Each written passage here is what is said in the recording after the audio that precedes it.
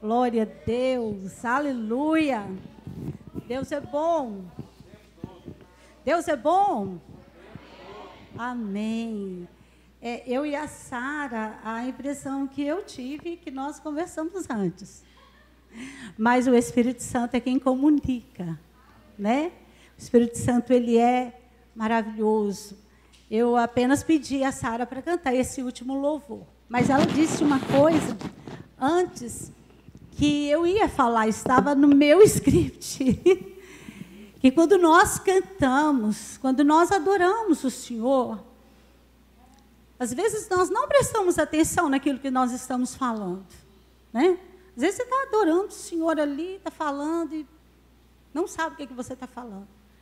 E o texto que eu vou ler hoje, que no dia que o pastor é, Cláudio me pediu para estar é, ministrando, amados, é, eu me lembro que eu vou compartilhar com vocês. Eu sou tímida, ninguém acredita, mas eu sou. Então, é, quando eu cuidava da mamãe e da minha irmã, isso foram 12 anos, né, um tempo de 12 anos que eu fiquei parada. Eu tinha, sim, um ministério na palavra, falava flu, fluentemente, tinha toda a tranquilidade. E quando eu parei nesses 12 anos, e eu tive um sonho, que eu chegava num local e a igreja estava cheia, e a Mônica, a esposa do pastor Félix, chegava para mim e dizia: Você é quem vai ministrar. Eu dizia, mas não, não tem como. Eu trouxe a mamãe, eu trouxe a Norma. E, e, e, a minha Bíblia ainda ficou dentro do carro. Era sempre o não, né? Sempre querendo retroceder. E e esqueci desse sonho. E algumas, uh, no final do mês passado, eu coloquei a minha célula para a gente estar orando para Deus estar levantando-nos e, e, e, gerando sonho nos nossos corações, porque eu tenho muito visão de, de, de ganhar vidas para Jesus, de discipular, eu tenho muito essa sede, essa fome de Deus. E, e, esse, quando eu compartilhei isso com a célula da gente estar, esse sonho veio à minha mente. E eu falei, não, Deus, espera aí, é, é, é, melhor a gente ir devagar, né? Assim, porque né, é um passo após o outro. Incrível, irmãos, que na mesma semana o pastor me pede para eu fazer, ainda bem que foi um mês adiantado, para eu poder estar consolidando isso no meu coração. Mas no mesmo dia em que ele me pediu, o Espírito Santo falou: Você vai ministrar isso aqui. Então, esta palavra não foi gerada no meu entendimento ou no meu conhecimento, mas veio do Espírito Santo para você. Amém?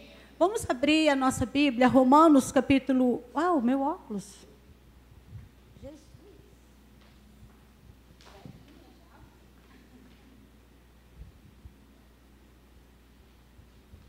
Depois dos 50 merece o óculos, gente.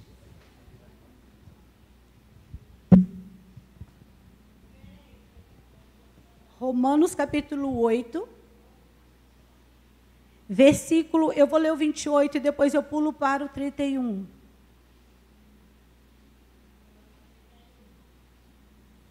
Amém?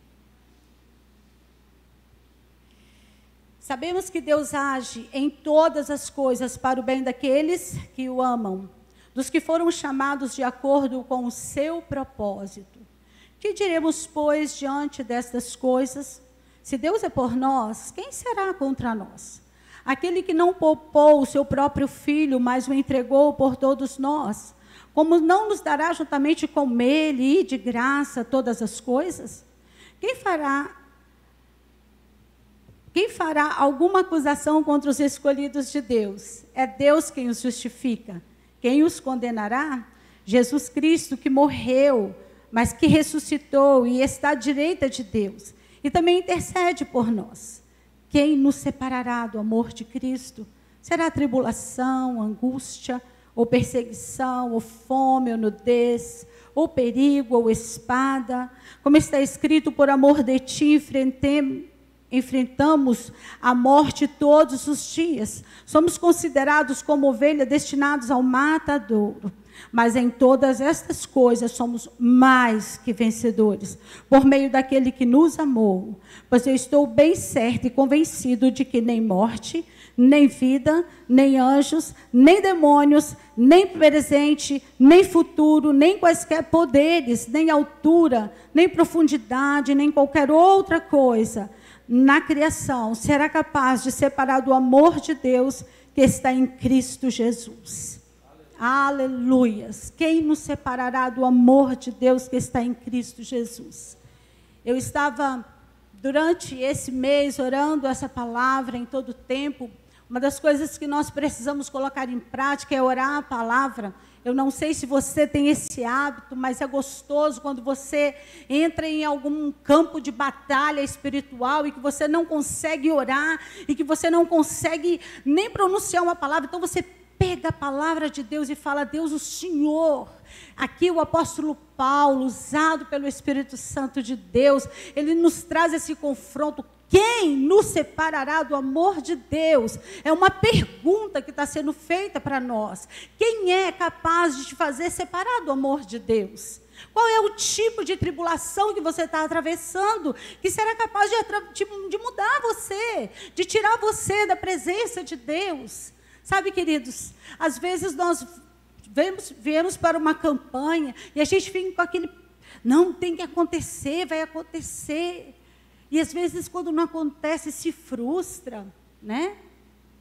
Mas uma coisa é certa: quem nos separará? Quem é capaz? Qual o tipo de tribulação que é capaz de nos separar? Nós estamos vivendo nessa pandemia, nesse momento terrível, que uma hora aumenta, diminui, a gente não sabe se é verdadeiro, se é mentira. Sabemos que tem muitas pessoas sim morrendo, sabemos que está acontecendo muitas coisas, mas quem é que vai te separar do amor de Deus? Se quando nós, que temos Jesus, quando nós partimos daqui, é aí que começa a nossa vida de verdade.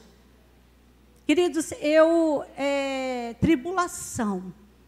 É, no início da pandemia, quando não havia ainda o protocolo né, médico, eu peguei essa doença, ou ela me pegou, nem sei. Enfim, eu, a minha filha chegou em casa numa sexta-feira, passando mal, e, e, e como eu saí de perto da minha filha, eu falei, não, misericórdia, já basta estar fora, né, a gente não poder estar na igreja, naquele momento de comunhão, naquele momento gostoso. E na minha casa é muito assim, a, a, a Sueli me conhece, né? a gente abraça muito, a gente gosta muito desse ambiente de aconchego. E, e foi exatamente no, no Dia das Mães, e ela passando mal, e mesmo assim fez um café da manhã para mim. E daí, quando foi na terça-feira, eu comecei a passar mal com a Covid. E, e fui aqui no metropolitano, fiz o teste, deu positivo. E eu falei, Deus, tem misericórdia. E eu comecei a cantar: se Deus fizer, Ele é Deus, se Ele não fizer, Ele é Deus. Os meus vizinhos estavam desesperados, porque era tudo muito novo ainda. Hoje ainda está, a coisa parece que está aumentando, mas está se conseguindo conter, mas nos primeiros dias, os médicos só ofereciam para a gente, só dizia, você vai tomar de pirona, né? E eu ainda descobri que tem alergia de pirona, nem sabia disso. E aí, e eu comecei trabalhando e cuidando da minha casa, porque aquilo me dava uma agonia, dava uma sensação de que a minha casa, é, é, é eu tinha pego aquilo porque estava sujo, de repente, alguma coisa, e joga cloro, e joga álcool, e joga mais não sei o quê. Que tribulação, queridos. Mas isso não me fez separar do amor de Deus que está em Cristo Jesus. Sabe? Eu me lembro que a nossa igreja começou a fazer as lives de oração. E eu havia ligado para o pastor Valteci e falei, pastor, e tal. E ele, minha filha, fica quietinha e não, não saia de casa, se preserve e tal, e ore. E eu só conseguia, eu não conseguia olhar no celular, eu não conseguia assistir pela, pela, pela televisão, eu só conseguia ouvir. E teve um dia, queridos, foi tão forte isso, foi tão desesperador. O meu corpo doía tanto, parecia que eu tinha sido moída mesmo, sabe? E eu eu deitei, era oito horas da noite, e ouvindo né, os irmãos falando, orando e tal. E, e eu orei, eu falei, Senhor, é, é, que tal? Eu estou preparada. O Senhor quer me levar? Porque eu não aguento mais sentir dor. Está horrível. Está febre, está ruim. E eu comecei a orar e o corpo doendo demais. E no outro dia, para a glória e honra do nome do Senhor Jesus, eu já amanheci mais ativa, mais conseguindo me movimentar melhor, até alimentar, porque eu não conseguia. Então, quem é que vai me separar do amor de Deus? De que forma alguém tem essa possibilidade de nos separar do amor de Deus? Eu me detive aqui também num texto, num, num, num parte do versículo, que fala assim: Pois eu estou bem certo de que nem morte, nem vida.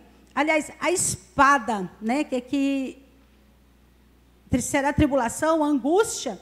Hoje nós estamos vivendo num tempo de uma angústia desesperadora. Quando a gente entra nas redes sociais, tudo que a gente vê são psiquiatras falando, é psicólogos falando, né? O que está acontecendo e eles eles estão querendo ajudar e, e, e, e cooperando, dando dicas para poder as pessoas não ficarem tão depressivas. É, angústia, angústia na alma, dor da alma, a dor do, do, do, isolamento, a dor do estar sozinho. A espada, querido, será que a espada vai nos separar? Aqui, ele está falando de guerra. E nada mais do que nós estamos vivendo hoje é uma guerra.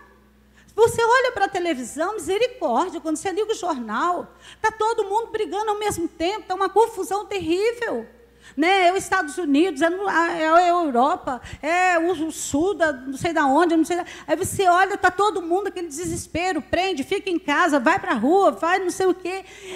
Guerra. Nós estamos vivendo uma guerra sem precedentes. E às vezes a gente não está nem prestando atenção, sabe? Essa espada aqui, será que isso vai paralisar eu e você? Eu quero contar um testemunho é, nessa parte aqui, porque eu estou bem certo de que nem morte, nem vida, nem anjos, nem demônios podem nos separar do amor de Deus. Eu me lembro que há uns 15 anos atrás, mais ou menos, eu participei de uma é, de um evangelismo de impacto no Carnaval lá no centro em Vitória. E, eu sempre né, fui criada no Evangelho, então eu não tinha costume de, desses movimentos de carnaval. E fizemos o preparo, jejuamos, oramos durante, durante 40 dias, fizemos é, vigília e colocamos a nossa vida diante do Senhor mesmo. E quando eu fui para esse evangelismo, queridos, eu me lembro que saía de três em três, né, é, mulheres abordavam mulheres, homens abordavam os homens. E quando eu cheguei diante de uma senhora, ela estava. Interessante que eu pensei que ela estava só fantasiada, né? mas na verdade ela era ah, uma mãe de santo. E ela estava com aquele vestido e um turbante na cabeça. E quando eu cheguei diante dela e falei assim: Jesus é a nossa verdadeira alegria. E ela fez assim: não me toca. E olhei para ela assim. Ela falou assim: é, O meu guia vai te matar. E quando eu olhei, falei: Guia, né? A linguagem também para mim era até meio complicada de entender no primeiro momento. E quando eu olhei para trás, tinha alguém, não sei se era homem ou se era mulher, porque estava transvestido de, de alguma coisa. E, e ele veio e eu me lembro que a palavra que foi ministrada, né, inclusive agora na, na nossa célula, nós falamos sobre a, a coluna de fogo, né, o, como Deus nos protege. E, queridos, veio como assim, como se chegou perto de mim e fez assim, como se tivesse batido num paredão. E eu olhei, mas eu não fiquei com medo. Eu olhei, só olhei assim.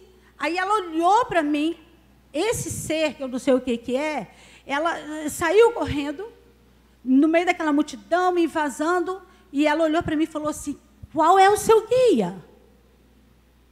E eu olhei e falei assim: O meu? O meu é maior do que está em você. O meu é Jesus. O meu é Deus. O meu é o Senhor dos exércitos. E ela falou assim: Você não sabe com quem você está falando. Eu falei: Não sei mesmo. Mas eu vim te transmitir boas novas. E ela virou para mim e falou assim: Eu sou mãe de santo. No carnaval, os terreiros fecham, porque todos os demônios têm que ir para a rua para incorporar nas pessoas. Presta atenção, queridos, que coisa tenebrosa era isso. E eu vi, eu presenciei coisas que eu jamais poderia imaginar na minha vida naquele dia.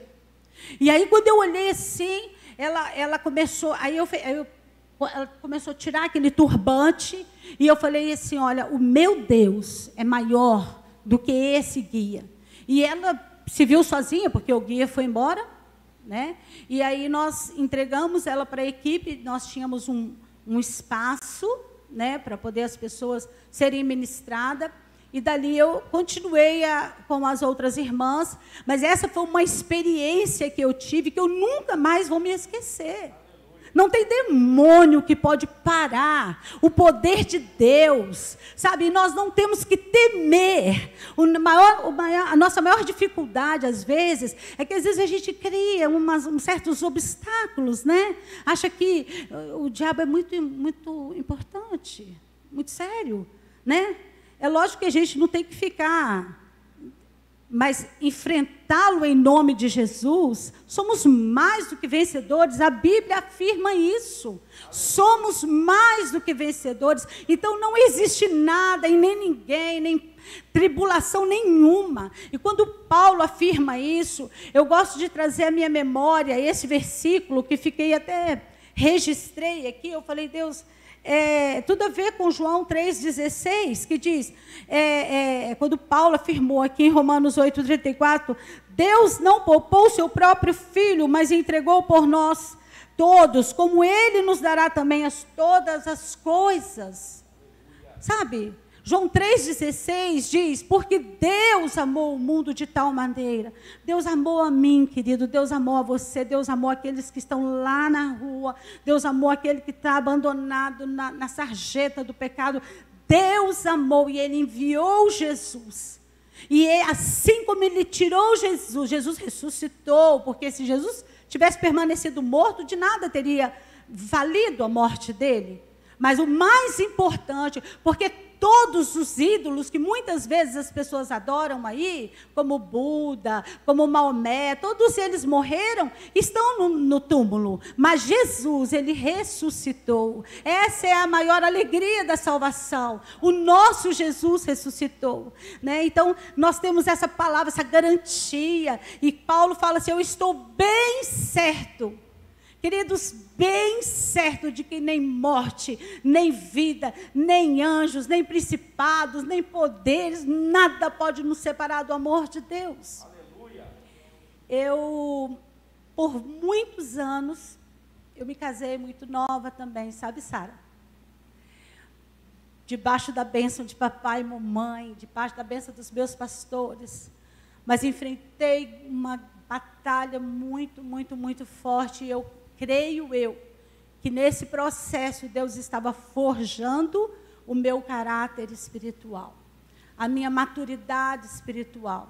Eu creio porque eu fui criada é, com um círculo de oração, orando.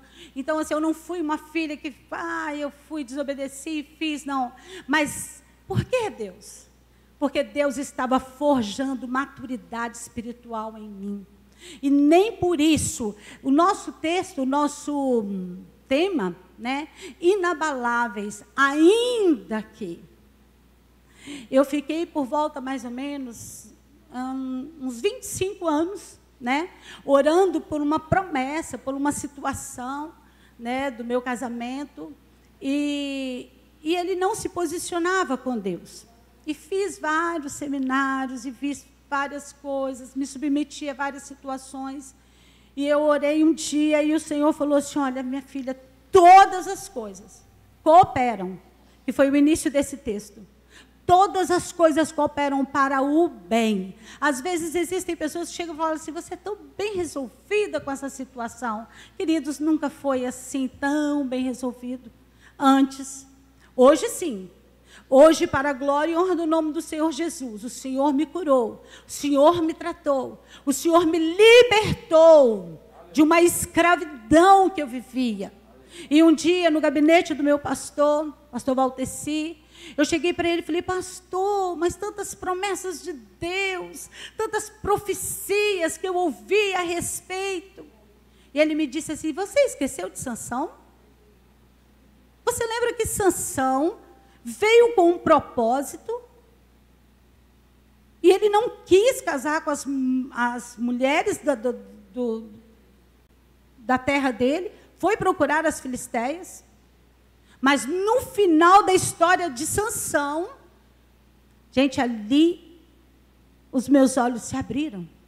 Porque quem conhece a história de Sansão sabe que no finalzinho, Sansão falou o quê? Morram eu e os filisteus. O propósito do Senhor se cumpriu ali.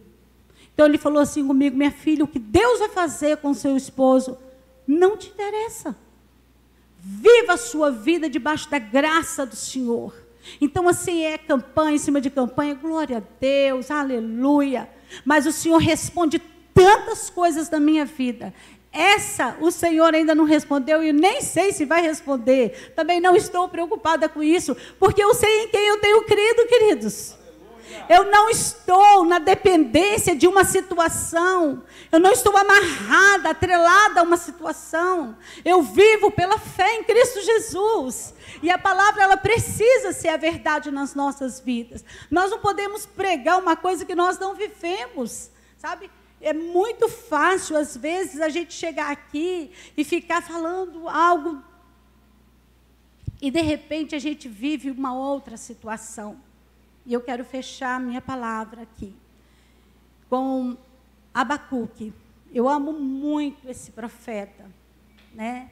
Ele conversa com Deus, Deus responde, ele fala, Deus fala. Se você pegar o livro de Abacuque, você vai ver que há uma interação entre ele e Deus, e é muito lindo. E no final, ele encerra a fala dele, fala assim: olha, mesmo não florescendo a figueira e não havendo uvas na videira, mesmo falhando a safra de azeitonas, não havendo produto do, do alimento nas lavouras, nem ovelha no curral, nem bois nos estábulos, ainda assim eu exultarei no Senhor e me, me alegrarei no Deus da minha salvação. O Senhor é soberano e a minha força, e Ele faz os meus pés como servo e faz-me andar em lugares altos. Aleluia! O nosso Deus, ele nos faz andar em lugares altos, mesmo que não seja uma resposta positiva momentânea, mas Deus é fiel e toda e qualquer tribulação que eu e você estiver atravessando, nosso Deus está conosco. Eu me lembro desse dia quando eu cantava, eu estava muito mal, gente, muito mal. Quando eu cantando, se Deus fizer, Ele é Deus, se Ele não fizer, Ele é Deus, eu tenho certeza que eu estava testificando para os meus vizinhos, eles estavam sabendo que eu estava muito mal. E eu cantando alto mesmo, no meu banheiro, e eu cantando, glorificando o nome do Senhor e adorando o nome do Senhor no meio da dor, no meio da dificuldade. E nós precisamos voltar-se para o Senhor e não olhar para as circunstâncias das nossas vidas, porque circunstâncias é que nos paralisam. Eu estava falando essa semana com uma amiga e eu falei: para, sai da água parada. Sai da água parada. água parada dá mosquito. água parada, ela te mata. Vai para o rio. Se vai no profundo de Deus. Sai dessa letargia espiritual. Queridos, nós precisamos entender isso. E ainda que, e ainda que, é o tema da nossa campanha né? E você leva isso no seu coração, ainda que não aconteça exatamente da forma que eu e você queremos, mas o Senhor é poderoso para fazer infinitamente mais. Este, este ano eu recebi um milagre. O pastor Cláudio, eu não sei se ele vai lembrar, eu não vou contar detalhes, mas eu recebi uma bênção nessa campanha tão extraordinária, queridos, tão extraordinária. Sabe que eu falei, meu Deus, sabe através de quê? De um perdão. Um perdão. Eu cheguei diante do Senhor. Eu peguei a carta, eu fiz como Ezequias. Eu cheguei diante do Senhor, falei: Senhor, está aqui. Essa carta é de afronta. É uma afronta. Mas eu trago diante do Senhor, no altar do Senhor, porque quem julga a minha causa é o Senhor. E queridos, a tribulação passou. O nome do Senhor foi glorificado. Eu não vou esclarecer aqui, porque eu vou tomar muito tempo, já é 4h20. Mas o nosso Deus, você pode se colocar de pé? E nós vamos cantar: se Deus fizer, Ele é Deus, se não fizer, Ele vai continuar sendo Deus. Se Ele fizer, Ele é Deus. Querido, vá com esse pensamento para a sua casa. Se Ele fizer na sua vida, Ele é Deus, mas se não fizer, Ele vai continuar sendo. O nosso Deus, Ele permanece fiel para todos sempre. Em nome de Jesus. Amém. Amém.